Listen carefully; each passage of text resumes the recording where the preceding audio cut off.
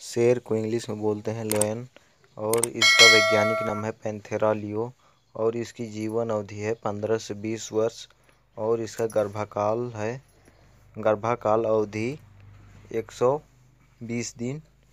और यह भारत के मतलब कम ही जगहों पर यह पाया जाता है, और यह मांसाहारी भी होते हैं। अगर वीडियो थोड़ा भी अच्छा लगा हो तो वीडियो को लाइक करें, अपने दोस्तों के साथ शेयर करें और चैनल को सब्सक्राइब करें।